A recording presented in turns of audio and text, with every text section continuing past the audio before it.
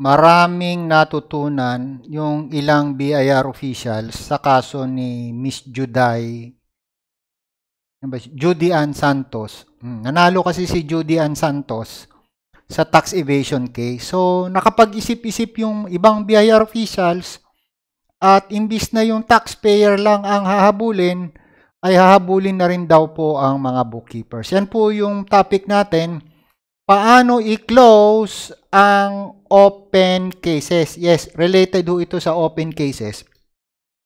Kasi pag may open cases daw po, yung mga kliyente ng isang bookkeeper, whether CPA o hindi CPA, whether registered tax agent o hindi registered tax agent, mag-ingat, mag-ingat po kayo mga kaibigan nating ka-taxpayer nating mga bookkeeper kasi kayo na po ang susunod na target. Kasi nag increase po ang uh, kay pangangailangan ng BIR para makakolekta ng buwis. So, yung approach na eating two birds with a stone, ayan, i-apply na po sa inyo. Pa, pa, panoorin po ninyo ano yung gagamitin sa inyo ng BIR. Ang ibig lang pong sabihin para sa mga nagmamadali, kung ikaw ay bookkeeper at kayo ay humahawak ng mga kliyente ninyo, kayo yung gumagawa ng tax returns, tapos at the end of the year or at the end of the century, wala ho kayong ipina-file na tax return, e hahabulin ho kayo ng BIR, kasama ho kayo sa penalty. Hindi ho ibig sabihin na yung taxpayer hindi mape-penalize. Mape-penalize po. O, tuturuan ko rin kayo mga ka-taxpayer ko sa susunod nating video uh, papaano ho may iwasan ang uh, tax evasion case kung ito po ay gagamitin ninyo sa inyong paghahanap buhay. So, mga bookkeepers, makinig ho kayo. Ito po yung umpisa.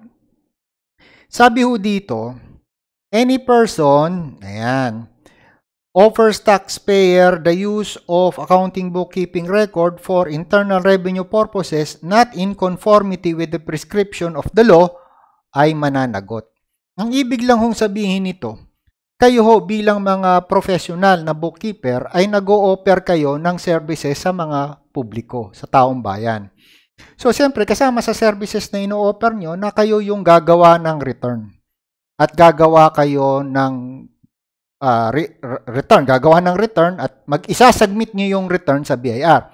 Therefore, hindi gagawa ng return yung taxpayer at hindi magsasubmit ng report yung taxpayer because inako ninyo, kinuha ninyo yung responsibility na yon sa taxpayer.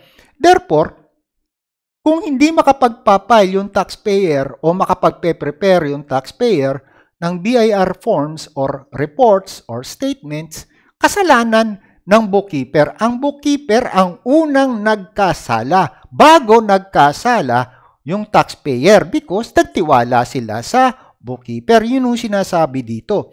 So ngayon, ito yung gagamitin ng BIR para ho dun sa mga bookkeeper. Ito po. Yan. Nakasulat po dito, doon tayo sa mas matindi. Nakasulat po dito, eh, may criminal liability yung bookkeeper. O yan, ito ho yan ha. Republic Act 8424.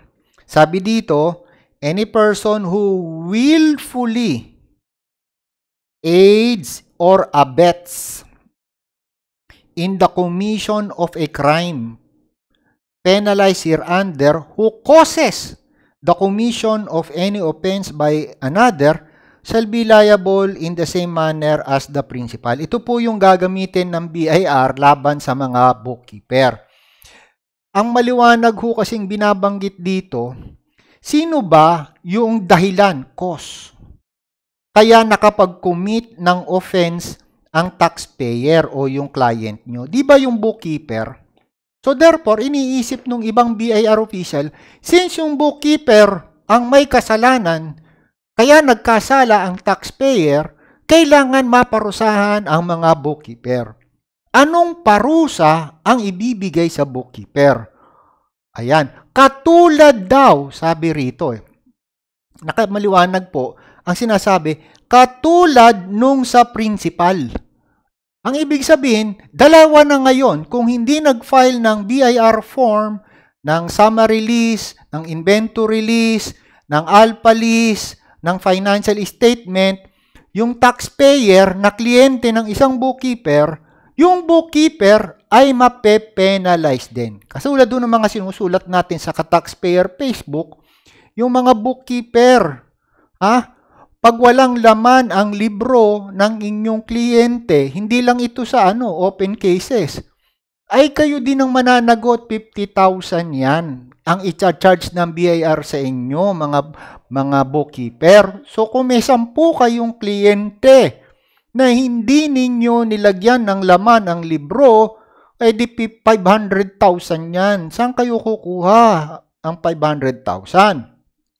So kayo mga taxpayer, ipapaliwanag ko sa inyo, para hindi ho kayo makasuhan ng tax evasion, ito ho ang dapat ninyong gawin.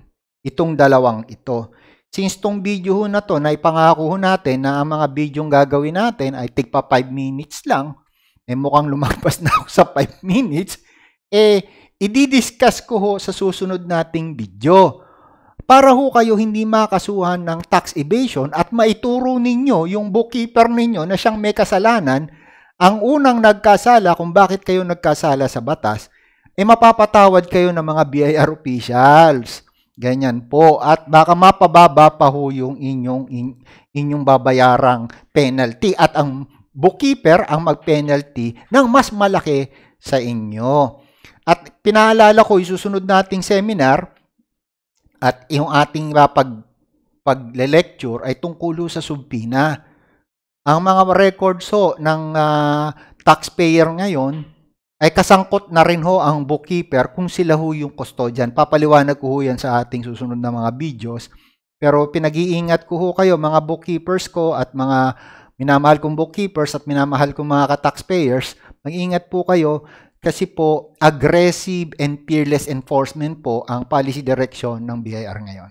So kung wala ho kayong uh, tax bookkeeping for uh, ah, BIR compliance para sa non-VAT at VAT registered taxpayer at BMBE, ayan po, binebenta ko ng yung PDF, tapos na po sila. At kung kailangan ho ninyo ng uh, tax basis chart of account, meron ho tayong video but pinaliwanag natin na mas maigi ang tax basis chart of account kesa ho yung mga chart of account na nire-recommenda ng iba hong accounting profession. So with that mga ka-taxpayer kung mahal, bumili na ho kayo. May mga templates din ho tayo para sa mga deficiency tax assessment po ninyo. So with that, peace and happiness be with you for life. See you in my next video.